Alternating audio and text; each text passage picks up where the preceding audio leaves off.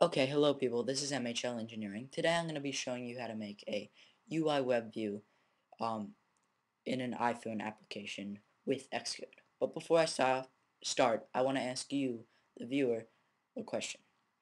Should I keep should I make my videos full screen so that you can see the full screen of the computer and I can upload in HD? Or should I keep it the way I am, small and it follows the cursor? I'm sorry, I just wanted to know. So let's get started.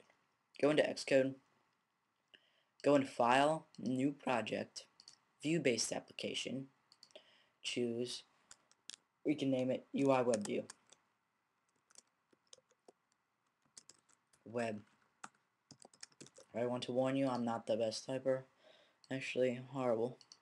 Pretty, pretty bad. Um, so we can go into classes once this opens up. UI View Controller.h um, and we can start our first line of code. I'll try my best to explain what's happening.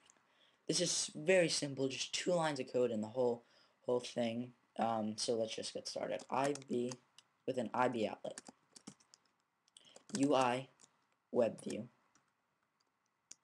web view space star um, web view semicolon and that's all we have to enter here. So this IB stands for interface builder and this is the outlet. You'll see where that um, comes into play when we're linking the things in the interface builder. And the UI web view is user interface web view which is the web view itself like the um what you're going to be seeing the website. And we just this is the name just web view. So um, we can we're done there. We can go to UI web view controller.m and you'll see when these things come into play once we're a little farther along. So yeah. Uh, don't even bother with the stuff up top. Just go right down. We can go down to um, right to here. Just take out these right here. You don't need them. And we can start our last line of code. So right here what we're going to be doing is pretty much telling it when it loads up what site to go to, where to go to. So let's just put the bracket, open bracket, web view. See we named that back there. Load request, which is what we wanted to load, bracket, NSURL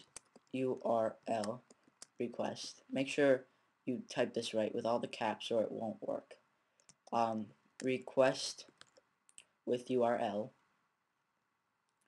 colon um, bracket NSURL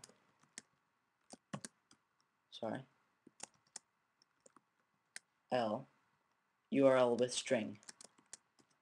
And here we're gonna put at and in the quotation marks put any site you want but I'm just gonna do um let's just do Google HTTP colon forward slash forward slash www.google.com and um, close the brackets three times and put a semicolon and we are done here. So here we were just basically telling it what to load when you opened it. And we said load google.com it's pretty easy.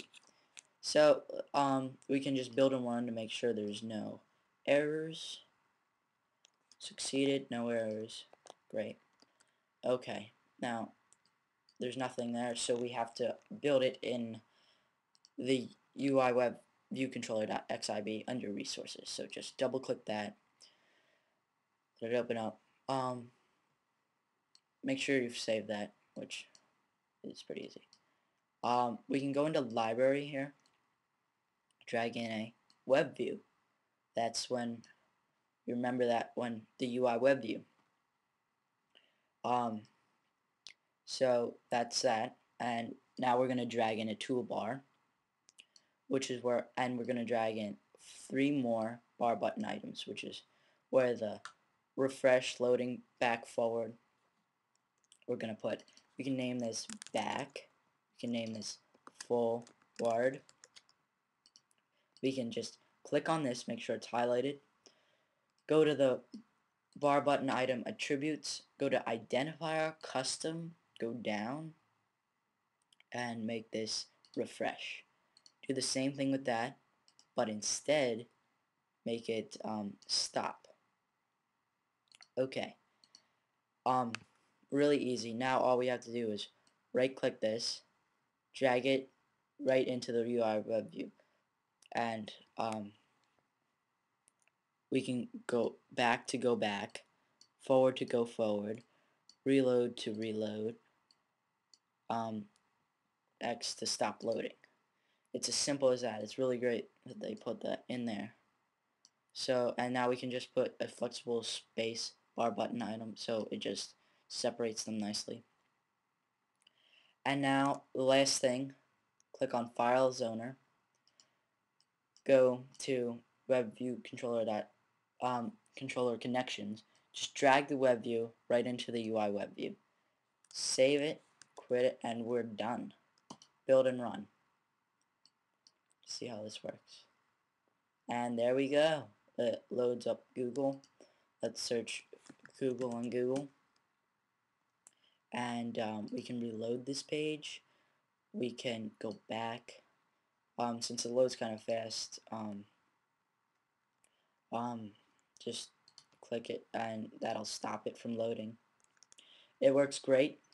You can do this with any site. Uh, I hope this helped. If you have any suggestions, what I did wrong, what I stunk at, what I did well, or probably not. But um, yeah, this is, thank you for watching and goodbye.